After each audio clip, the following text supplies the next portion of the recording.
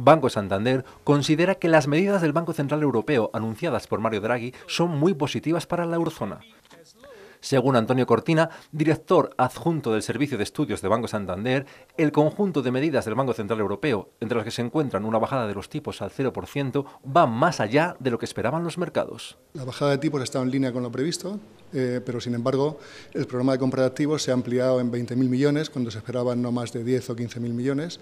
Además, eh, se incorporan los bonos corporativos no bancarios y también ha anunciado que celebrará cuatro subastas de financiación a largo plazo en condiciones ventajosas. De modo que sí que ha sido una sorpresa positiva. Asimismo, Cortina cree que aunque no se pueden esperar milagros, estas medidas, en la línea de las realizadas el último año y medio, ayudarán a asentar la recuperación.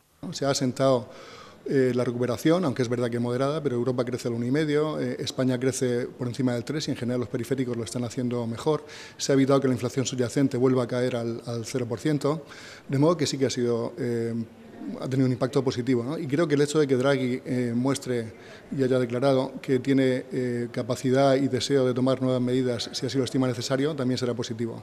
Es verdad que si además tuviéramos un programa conjunto de inversión pública de ámbito europeo, las cosas podrían incluso mejorar algo más, ¿no? pero lentamente, no puede ser de otro modo, pero la recuperación va en marcha y el Banco Central Europeo está colaborando a ello.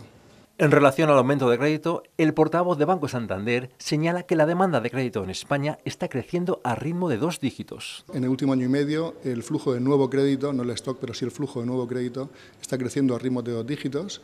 Eh, y entre las últimas medidas adoptadas por el BCE, entre las medidas adoptadas hoy, hay una de ellas que liga las condiciones a las que provee de financiación al BCE con el aumento del volumen de crédito. ¿no? Y probablemente eso ayude también. Pero sobre todo es una cuestión de mejora de expectativas y mejora de la demanda de crédito. ¿no?